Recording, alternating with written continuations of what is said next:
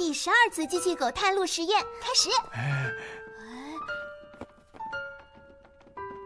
加油，加油！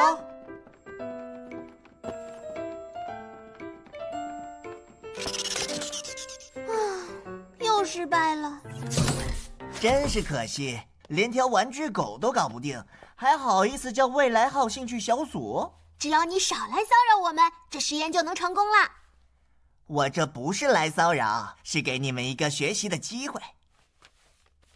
我们远古号地球考古组恐龙展明天就要开展了，展览的明星就是这个机器霸王龙，跑得又快又稳，绝对不会四脚朝天。哇，这么厉害！保证你们看完了之后会对我佩服的五体投地。你们小组不如解散了，来给我打下手吧。明天你会去吗？才不！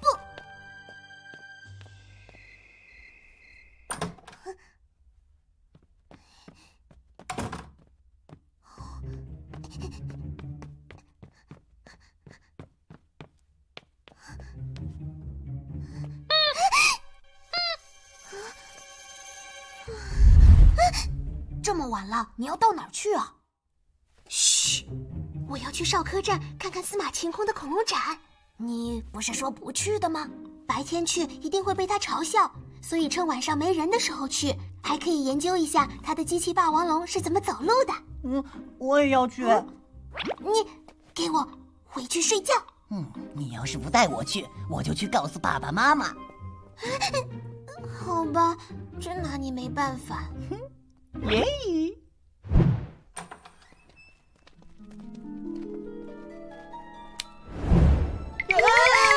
别吃我！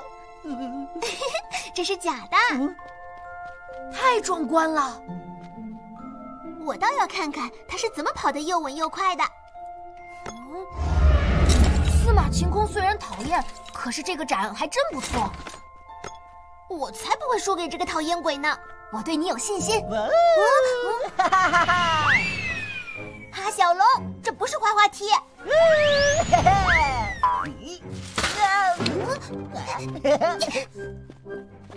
哈小龙，你把模型树都给弄坏了。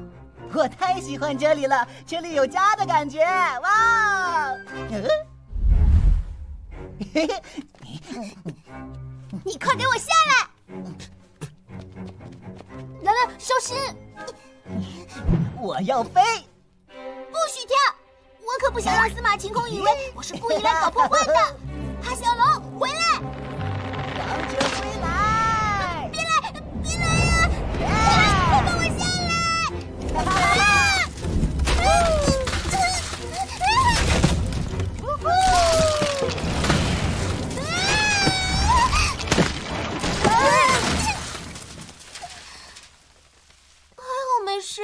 还说没事，我们可闯了大祸了。嗯，如果我跟司马说今晚发生了一场小型地震，他会相信吗？啊，哎，这条腿是谁的呢？啊，应该是你的吧？哈哈，装好了。哦，呃，这不像是侏罗纪的恐龙，倒让我想起了伽马星人的宠物。这可怎么办？这些模型都混在了一起，我根本就不知道哪个是哪个。这些事只有古生物学家才会做。哎，哈哈，你变成古生物学家不就行了？对呀，我怎么把自己的绝招都给忘了？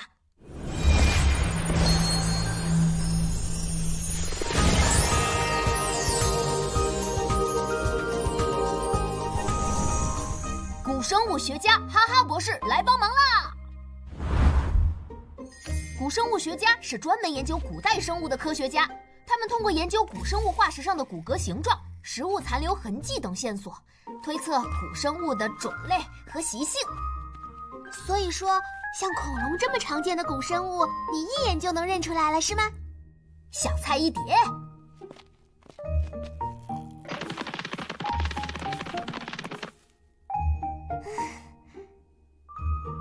我觉得比之前布置的更漂亮了。嗯。嗯，我怎么觉得哪里不对劲？爸王龙不见了，哈哈小龙也不见了。难道说？糟了，一定是哈小龙带着机器霸王龙跑了。我们得在天亮前把他们找回来，否则会引起骚乱的。顺着脚印找。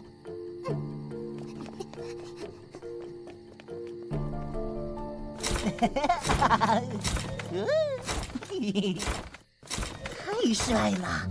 我就是地球的霸主，谁敢小看我？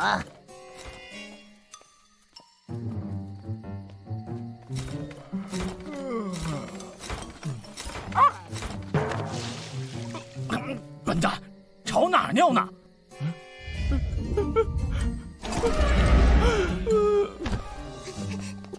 看，霸王龙就在前面，太好了！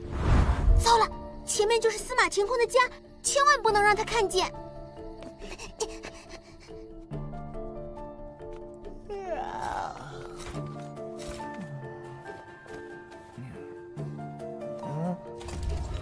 帅。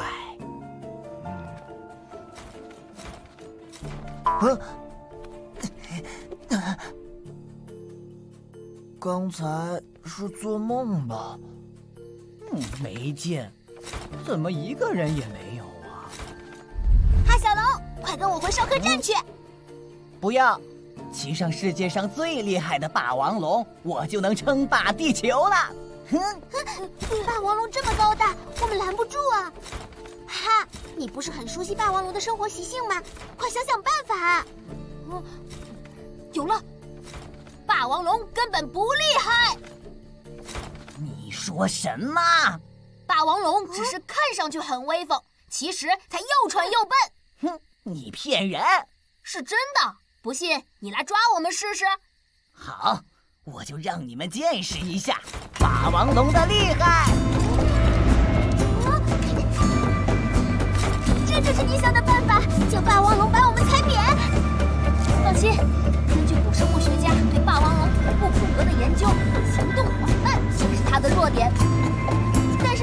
霸王龙啊，这个机器龙体重六吨，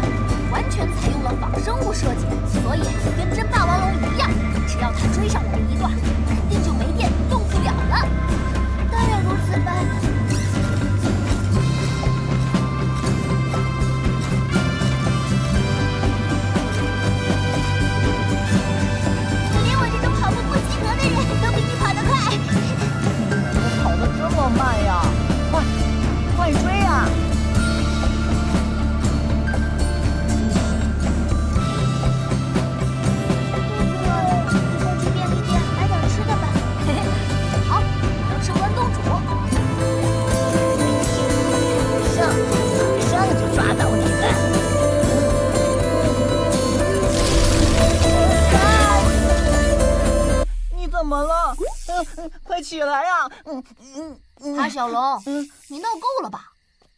你称霸地球的美梦该结束了。嗯，怎么样，修的好吗？修是能修好，可是明天开展前肯定来不及。那可怎么办？司马晴空肯定会在恐龙展上演示这个机器霸王龙的。都怪你！嗯，对不起，我知道错了。你们想要怎么惩罚我，我都接受。我有办法了。嗯，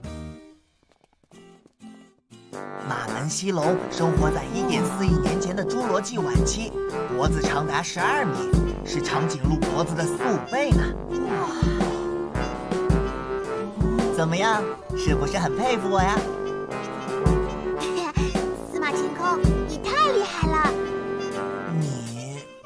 真的这么觉得？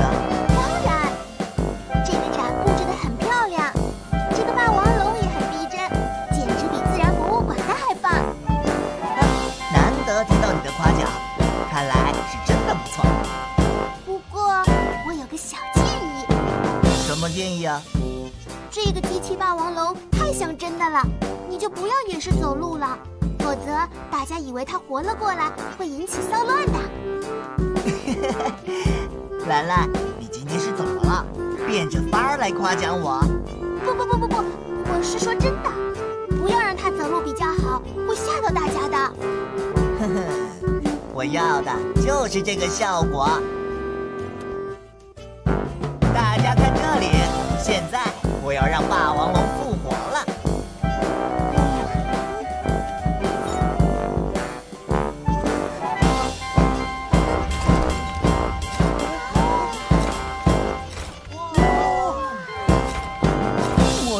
成了哈小龙牌石膏板了。今天早晨，在本市多处发现了神秘的大脚印。是是真的，我真的看到大恐龙了。当时我快追到大恐龙了，可惜当时它跑得太快，转眼不见了。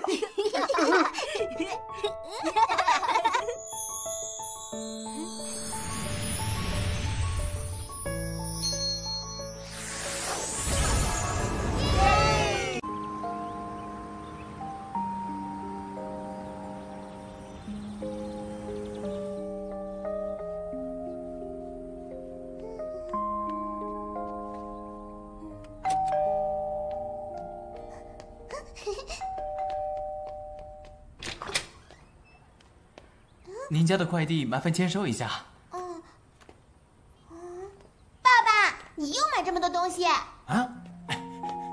哇，我等了好久的限量工具，还有妈妈的化妆品，哈哈和哈小龙的游戏机，兰兰模型都到了。现在大家都网上购物，每家的快递越来越多了。辛苦了，快递哥哥，再见。不辛苦不辛苦，兰兰再见。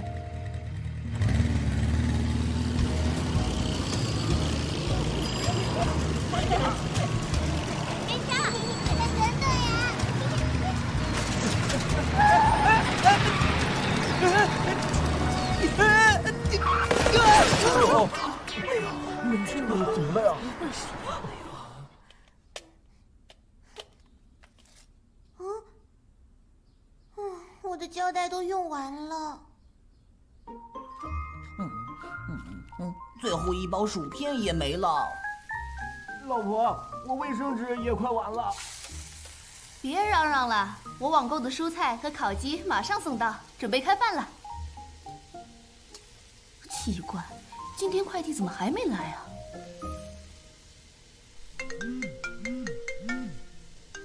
嗯，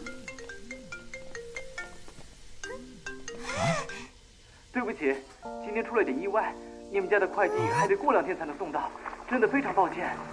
不好意思啊，借过一下。啊，不好意思啊。完了，我做的模型还要去参赛呢。我订的教材，明天要给学生上课用呢。还有我的零食、玩具。都别吵了，快递小哥都伤成这样了，你们就别催了。还有，今天吃泡面。没有快递的日子，度日如年呢。原来你们地球人这么需要快递员。是啊，什么事都做不了。嗯，让我来帮你们吧。太好了，哈哈！哈哈，你真是雪中送炭呐！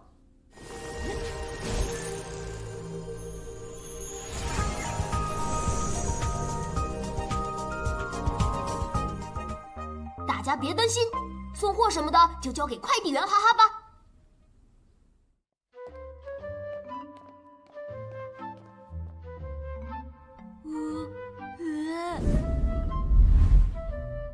你确定你一个人能送得了这么多快递吗？哈哈，我看这一次就算了吧，这么多快递，你一个人送到明年也送不完。嗯嗯，我腿短跑不快，你可别让我帮忙。你们可别小看了快递员，我们送快递啊也是需要技术含量的。嗯，这是我们负责投递区域的地图，一共有八百二十四户人家，需要运送两千四百一十五件快递。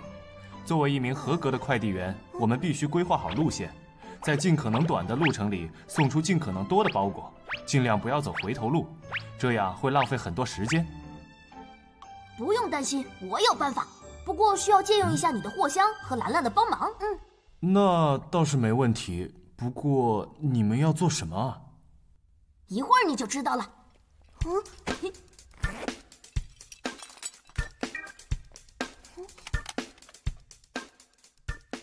哇哦，哈哈，真是个好主意！看我的。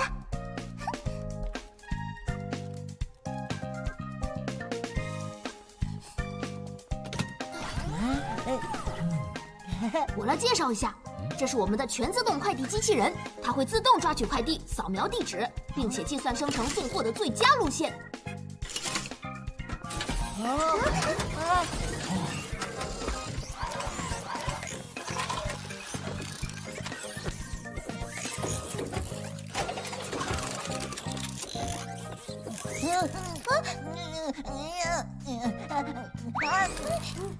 看管好宠物。你才是宠物！快递派送路线已计算完毕，快递机器人开始派送。收到。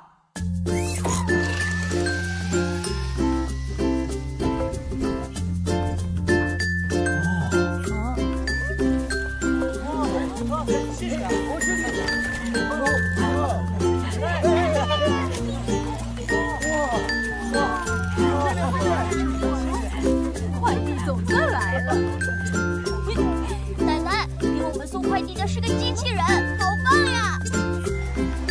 楼上的快递可以送到吗？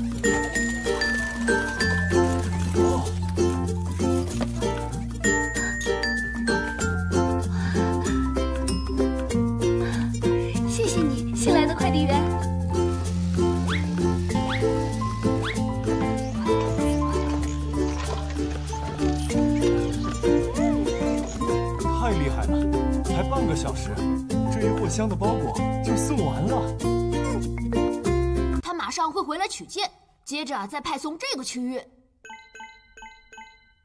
哈哈，兰兰，你们的快递机器人真是派了大用场了。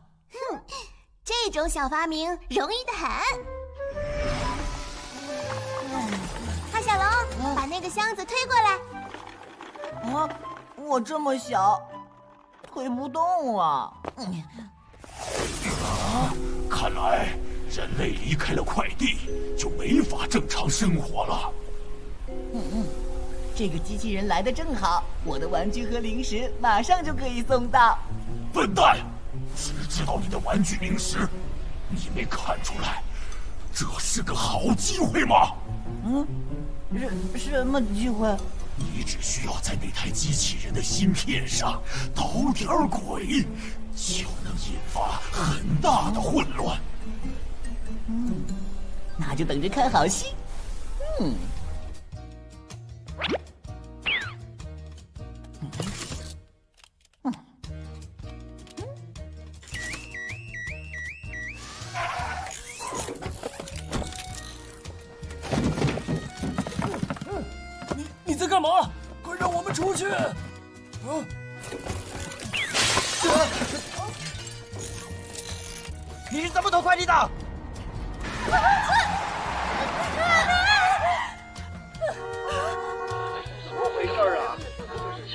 你怎么开这个啊？不这样，糟糕，机器人怎么失控了？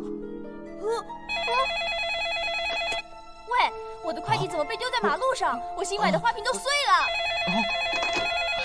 你们是怎么偷的快递？我的窗户都打破了。喂，管管你们的机器人，他在路上妨碍交通。啊，对不起，对不起，我我们正在想办法。哈哈，兰兰，你们的机器人是怎么回事？到底是哪里出了问题？嗯，看来只要搞点小破坏，地球果然会陷入大混乱。我哈小龙太有才了。嗯，啊，我我我的玩具和薯片，我的快递也完了。啊，我发现问题了，机器人的投递程序里有病毒。那那我们应该怎么办呢？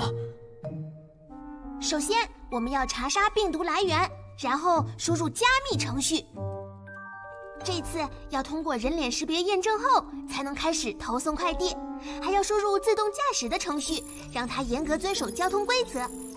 这样，无论在哪里，它都不会引起混乱了。啊，我知道这是谁干的了，哈小龙，这个玩笑你可开大了。嗯，又是你，哈小龙。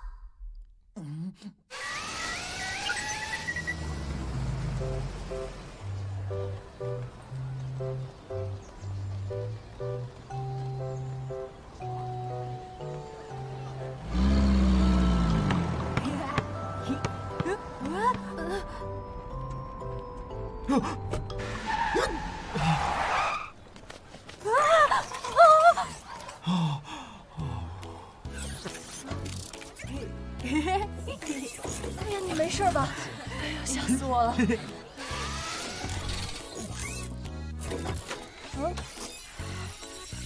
人脸识别通过。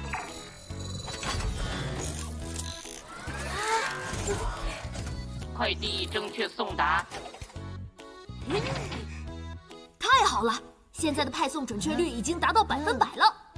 没有违章，也没有送错，时间也特别快。快递哥哥，你就好好养伤吧。看到大家收到自己的快递，我就放心了。这是我的玩具球。